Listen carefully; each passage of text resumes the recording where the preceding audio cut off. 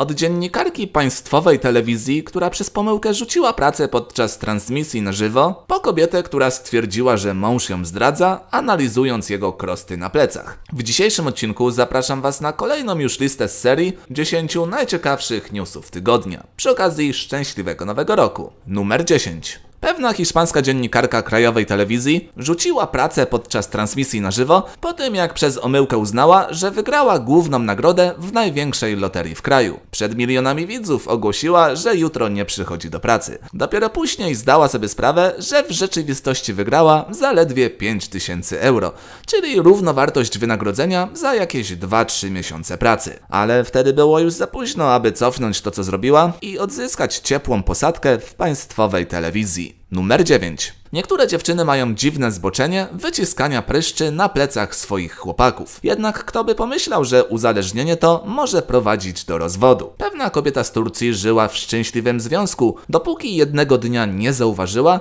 że wszystkie pryszcze na plecach jej męża zostały już wyciśnięte.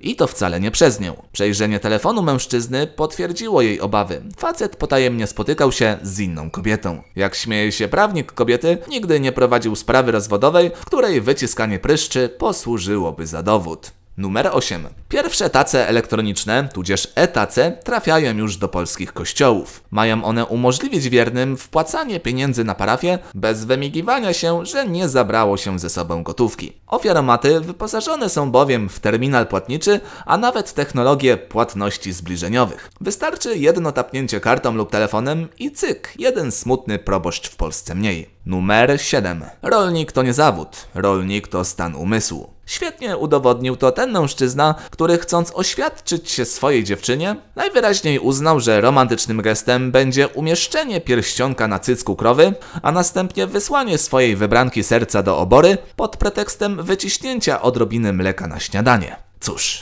miały być zaręczyny, wyszły niezręczyny. Numer 6. Pewien Kanadyjczyk uzależniony od hazardu pozwał jedno z kasyn do sądu po tym jak przez dwie noce stracił w nim aż 260 tysięcy dolarów, a kasyno nie raczyło nawet go powstrzymać. Zamiast tego rzekomo serwowało mu coraz to kolejne drinki, tym samym zachęcając jego umysł do dalszej gry. Jak skończyła się sprawa? Mężczyzna otrzymał zakaz wstępu do wszystkich kasyn w mieście. Numer 5. Właściciel jednej z restauracji w Chinach, chcąc sprawić, aby goście regularnie do niego wracali, zamiast poprawić jakość swoich potraw, postanowił faszerować się uzależniającym opium. Mężczyzna wpadł po tym, gdy jeden z jego gości przechodził właśnie badania policyjne i w jego organizmie wykryto morfinę, jeden ze składników opium. Zszokowany, gdyż nigdy nie zażywał narkotyków, powiedział, że jedyne co ostatnio spożywał to nudle we wspomnianej restauracji. Dochodzenie policji potwierdziło jego słowa. Opium wykryto w jednej z przypraw. Numer 4. To się nazywa prawdziwy przywódca. Niejaki Erik Manu to król pewnego afrykańskiego plemienia z Gany, który, aby zapewnić dobrobyt swoim poddanym, schował dumę wodza do kieszeni i wyemigrował do Kanady, aby pracować dla kogoś innego jako ogrodnik. Zarobione w ten sposób pieniądze zamierza przeznaczyć na opiekę zdrowotną dla swojej plemiennej rodziny.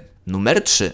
W Brazylii zapanowała dziwna moda na niebieskie jedzenie, a to ze sprawą niepozornych owoców genipapo, które stanowią prawdziwy ewenement, gdyż jak żadna inna roślina na świecie potrafią barwić żywność na przepiękny smerfowy kolor. Być może tego nie wiecie, ale naturalny niebieski barwnik jest bardzo rzadki w przemyśle spożywczym. I tak jak Brazylijczycy zdali sobie sprawę, że są w posiadaniu tych wyjątkowych owoców, które w dodatku są bardzo zdrowe, zaczęli barwić nimi dosłownie wszystko, począwszy od chleba chleba na makaronie kończąc. Numer 2. Kiedy nie masz cierpliwości do ćwiczeń na siłowni. Rosjanin Kirill Tereskin został okrzyknięty Popejem w prawdziwym życiu po tym jak zaczął wstrzykiwać sobie w bicepsy coś w rodzaju wazeliny, aby sztucznie zwiększyć ich objętość. Ach, sami przyznajcie, wygląda imponująco, szczególnie w zestawieniu z jego płaską klatą. Ale i tak na nic mu to było, gdyż świat obiegła właśnie wiadomość, że 23-latek przeszedł właśnie operację usunięcia większości mięśni, gdyż te były zwyczajnie martwe. Numer 1. Pewna 43-letnia nauczycielka z Hiszpanii stała się internetową sensacją po tym, jak na lekcję dotyczącą anatomii przyszła ubrana w obcisły kombinezon przedstawiający wnętrze ludzkiego ciała. Jak sama mówi, swoim pomysłem wywołała dezorientację,